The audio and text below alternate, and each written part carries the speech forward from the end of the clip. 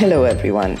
Today we have Shamlu Dudeja, and she's going to be telling us her stories of Sindh about embroidery and mathematics, her family's pir, and what she saw at the Sindh Assembly on the historic day of 14th August 1947. Hello, Shamlu. Lovely to see you. Welcome to the Tapestry podcast. And I can see you're sitting in a really lovely place. So, why don't we start by you telling me what it's about? Where I'm sitting? Okay. It's our uh, Tata showroom. Shamlu, which year were you born? 38. And uh, uh, you were, of course, you lived in Karachi as a child. I was uh, my father studied in Karachi and South Africa and came back to Karachi and he taught in DJ Sindh College. My mother was a huge, uh, what is the word? Skilled embroidery person. She was a very, very high parts embroidery person.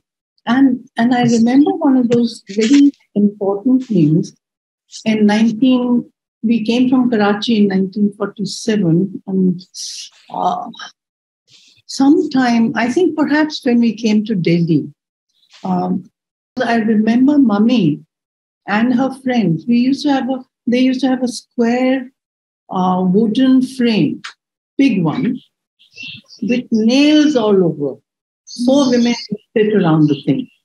And uh, they would have uh, multiple threads, you know, like a skein.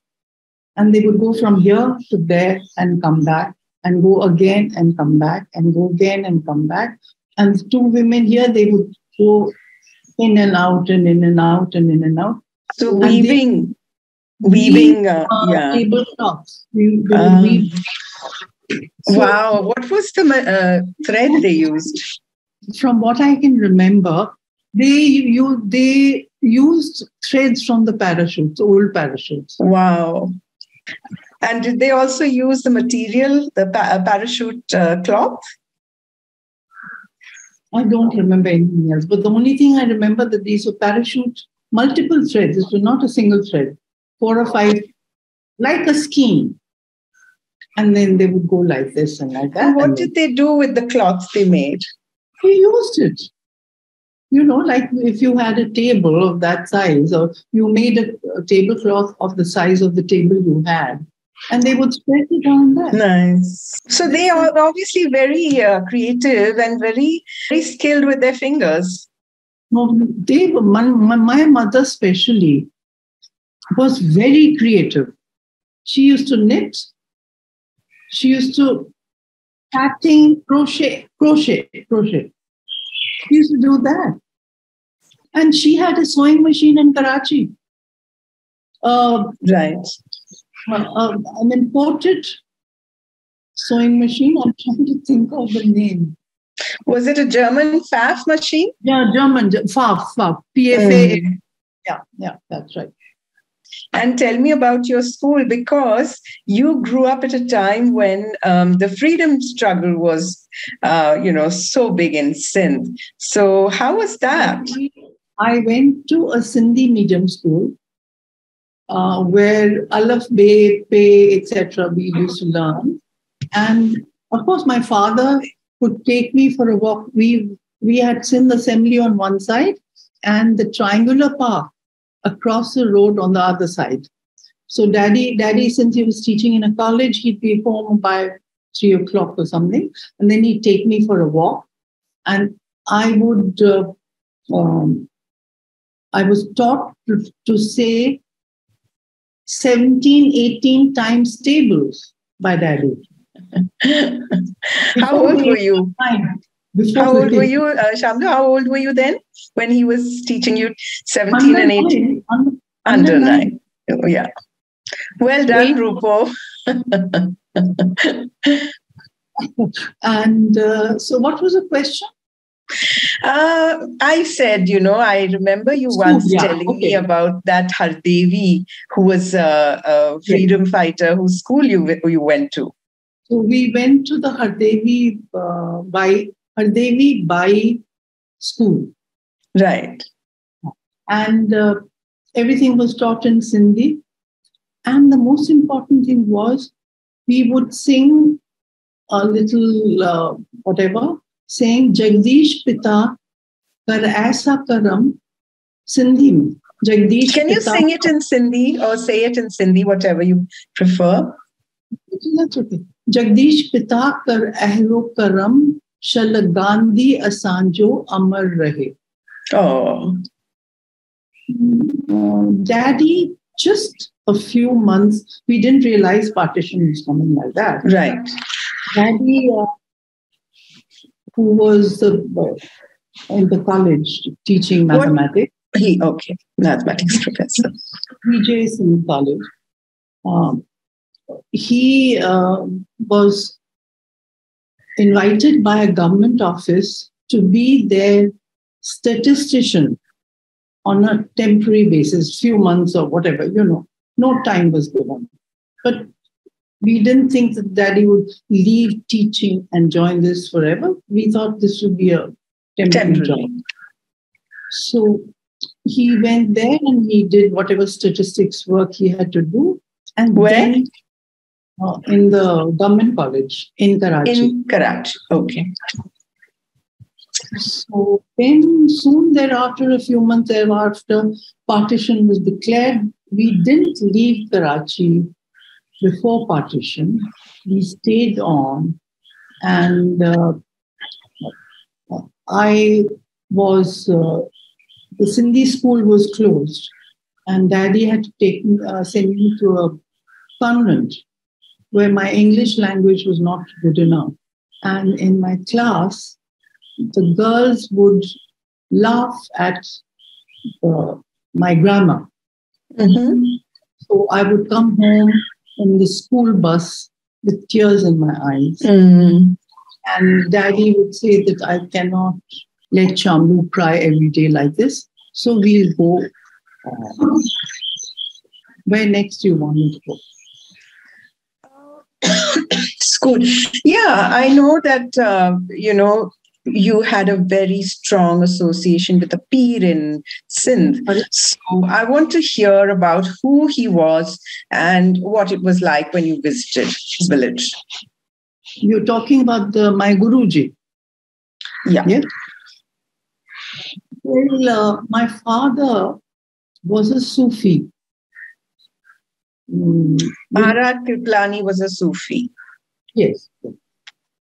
Uh, and our guru was uh, lived in a little village in, in the interiors of Sindh. And we used to um, go there to mm, pay our uh, respects to him. And uh, he had, to his uh, devotees, he had taught a method of meditation. So we would all not, I was still too young, but later on I too became. Um, but the devotees were taught how to meditate. So, uh, and he, to me, what I can remember of him, he was like a magician. You know, the kind of things they could achieve like this. Not, not, uh, I mean, I don't know how to describe it, but you thought about something at home in the night, and in the morning, there would be a message from him to say, Your work will be done. Wow. So, miracles, basically, I think they call them miracles. It's miracle. I don't know what the word is, but uh, you know, it's kind of, uh, I don't know. What was his name, uh, Shamlu?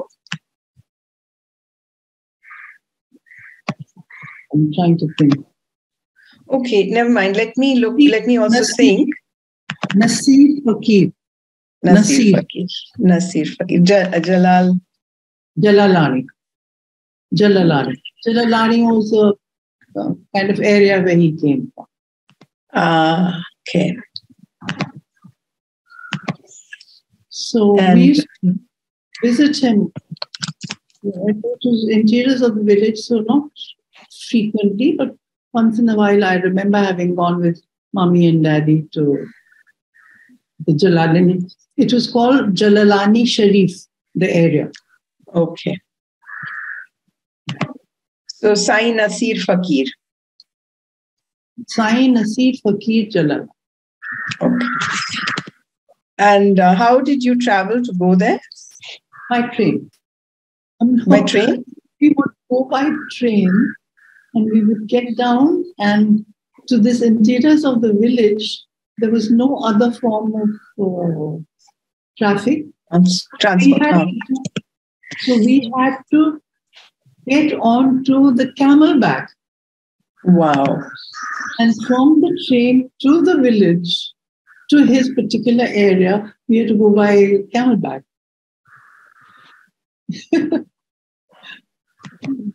we rather enjoyed it, children particularly. I would sit with daddy. I would sit with daddy, and Indu and Gul would sit with mom. and what was the village like? Uh, well, I can't describe the whole village, but there was a canal with water flooding, and we would go there and little um, buttons and bring fresh water. And uh, where Sainji was, there was a huge central kind of stage, platform, about two feet high. Okay. Akka, you know, not of wood or anything, but of cemented uh, whatever. And there were a couple of rooms there, and Sainji would go and relax there in the afternoon or whatever, and sleep at night and we he would come out when it was not too sunny. There was a tree in between or in the center, and he would sit there, and we would all sit around him. You know, people would sing bhajan, and uh, he would give his. Uh,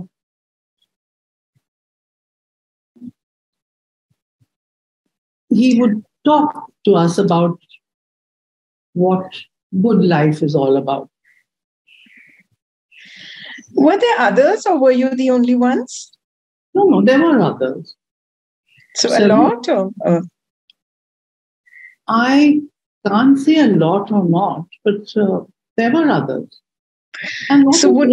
was around this little, not little, large platform, stage kind of stage kind, but it was huge. Uh, there was a lane going around, and on the other side of the lane were little, little uh, rooms where people could stay or something. So, did you stay in one of those little rooms? We stayed somewhere. I can't remember exactly where, but we did stay video three, four times. I can't remember. and what was there. the routine like when you were there? No routine. You had to get up in the morning earlyish and sit and meditate. That was right. only. That was only routine and he gave us a kind of uh, a manner of meditation. Okay. Which you were required to follow. And any other practices that uh, he uh, you did there while you were there? No. The only thing was think of the Lord all the time. He wouldn't say, think of me. No. He would say, think of the Lord. What was the word he used when he said, think of the Lord? Because he wouldn't have used a word like Lord. No, of course not. Allah. And uh, uh, so then you'd come back and you know uh, shamlu i remember you once telling me about how when the when there you were your family was at so scared when partition was happening and you were you were fear, fearing attack.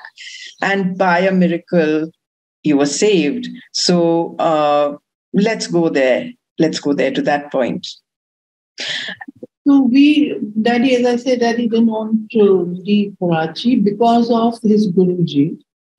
And he put me into a convent um, because the Sindhi school had shut down. And, I need to ask you this. You know, you're calling him a Guruji. Is there another word that you used in Sindh? Let me come to that. Let me come. Right. Sain, sain. Sain. You said you did say. Okay. Okay. Um, so, what was the question? Uh, so you uh, you were saying your father didn't want to leave, and he put you in a convent. Mm-hmm. So the convent, I would go to the class, and I was told to read a sentence, and I read it very badly because I was not used to English speaking and all that, and I didn't know enough words. My vocabulary was very poor, and uh, so uh, when I came into the bus, the girl behind me would pull my choti and say, Why are you here? Go to your country. Why are you here? Go to your country. And I'd come back crying, and daddy would say, I can't let my daughter cry like this. So this by this time it was about middle of September. And uh, 14th of August was the, you know, in Pakistan. Yeah. So then he gave up his uh, job and uh, we came by ship to uh, Bombay. Now, we had a whole, a whole house full of furniture, beautiful, full, full mirrored cupboards. You know, so we couldn't bring any of that. Nothing at all because it was post partition. If he had done it before the partition, daddy would have been able to bring some furniture. But you know, uh, Shamlu, uh, I think we've skipped the most important thing. So let's go back there. Uh, what I said is that, you know, there was this point where you had a miracle and you were saved. So let's go back to the point when it was 14th of August and what you saw that day and then what happened after that. Yeah, so 14th of August, we saw Lord and Lady Mountbatten. Now, this was a wall. My house was here, Sindh Assembly was here, and there was a little drive in along the wall. So, did they have a celebration throughout the city for the 14th of August? Not, uh, I don't know everywhere else, but there was definitely a celebration in the Sindh Assembly. Right. There, there, there was a huge lawn like that, and it was full of various people with bugles and so on. And Lord and Lady Mountbatten, along the wall, they came in in, in a black chariot with white horses. So they came right up to the Sindh Assembly, and there was a red carpet along the Sindh Assembly. So you could see up. all this. I could see it from my balcony. So we couldn't go into the balcony because Daddy was a bit afraid that something might happen. So we had a, a, a door with glass panels looking into the balcony. So we stood behind the door and we could look into the Sindh assembly. So we saw uh, this chariot coming in, stopping at the red carpet, and Jinnah and his sister Fatima, they come up to the chariot, welcome Lord and Lady Mountbatten, and um, the bugles blow in the entire garden. They salute or whatever. Wow. So you saw this historic moment. I absolutely saw it, yes. And and not only that, then they turn around, go inside. There was a dome. The Sindh Assembly has a dome like that. So under the dome there is this door, and they go inside the door, and everything is quiet for a minute not minute, 15 minutes, 20 minutes, I don't know what. Later on, I was told they were signing some kind of document. Uh, then they come out, and the bugling goes up again, and a green flag goes up on the dome. Wow, the first time the flag is hoisted, and you saw it. Mm. So that's beautiful. Yeah, and but, then on the left side where the um, road was, people start, the movement was uh, not normal. It became very. So, Shamlu, you mentioned that your dad was scared. So there was an uh, that he didn't want you to step onto the balcony because he didn't know what might happen. So there was a certain fear in the atmosphere. But while the, there was a carriage and, you know, while these dignitaries were actually there, nothing was going to happen. No, not uh, during that time, post that time. After they left, after the ceremonies yeah. were completed. Yeah, yeah. Then? Yeah. And then, then the um, people did start throwing stones at each other. And on a little distance away from our front, there was a wall here and there was a wall there.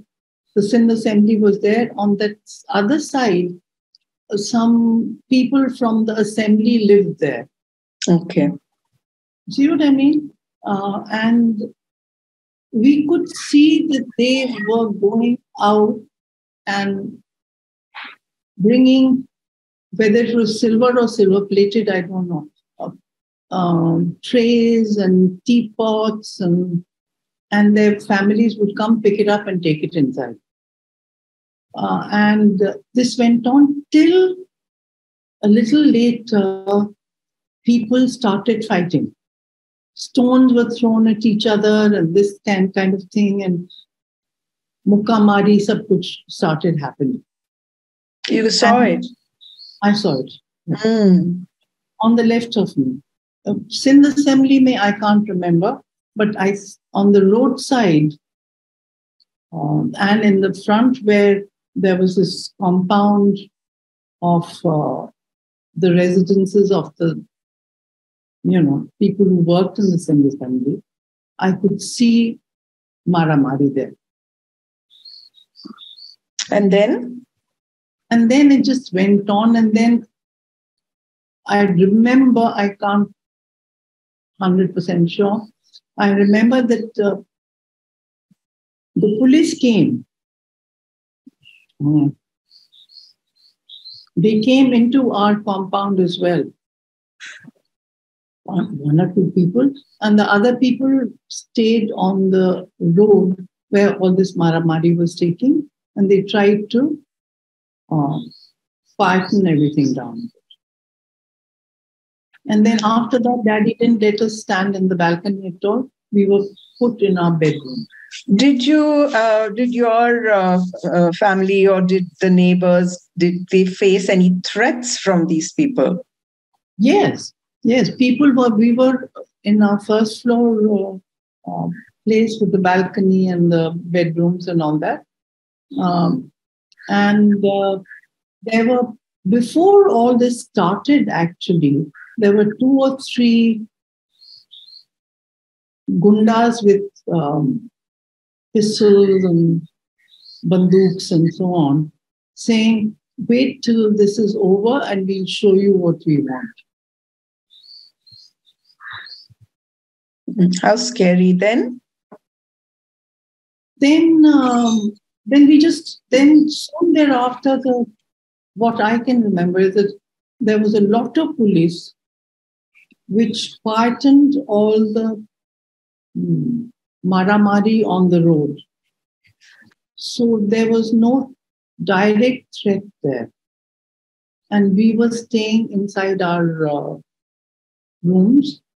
And maybe later on, when the whether it was the same day or the next day, I can't remember, when all the threats and everything was quietened, Daddy actually took a cycle and went around the nearby areas where our uh, relatives used to live. And some people who were still there. Uh, and uh, okay to try and see if everybody was all right. Right. And the two or three people that he were nearby who he could visit, they seemed to be to have been okay. Mm-hmm. Before this happened, our pir sent somebody with a big banduk who came down and he said, uh, Rupchand, don't worry, nothing will happen to you. We've come from Jalalani. We are going to stay here and nothing will happen And we lived in a kind of a complex where there were four or five uh, independent houses. And uh, everybody was who was there was very scared. And after they saw this, and uh, they everybody kind of appreciated the fact that this man had come and that everything would be all right. And nothing happened in our complex. But eventually, everybody made arrangements to leave because. A lot of people. There was one Parsi family which did not.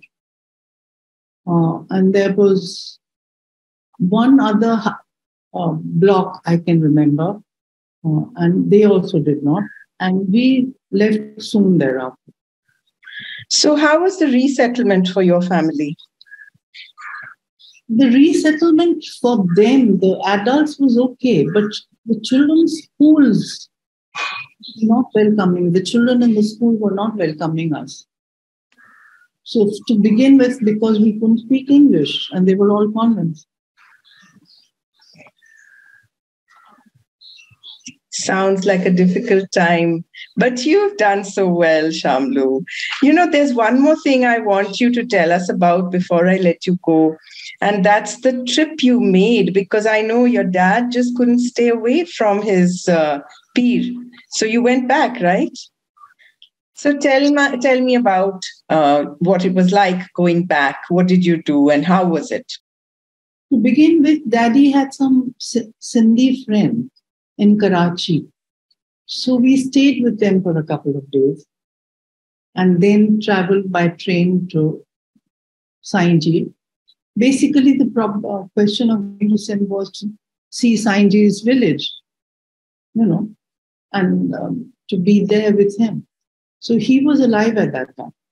So we went there. And that is the time when I got my Naam, meditation. He taught me how to meditate at that time, about 55, 54, 55, I can't remember. So, so you were about 16 years old at that time. It was 9 plus 5, yeah, 14 years. 14. 14 yeah. So then we came to Bombay, and Bombay, uh, we got a little. In Delhi, we got a lovely um, Barsati. No, wait, Shamlu, you were telling me about Sindh. You got your Naam in when uh, when you were there, and uh, what else about that trip?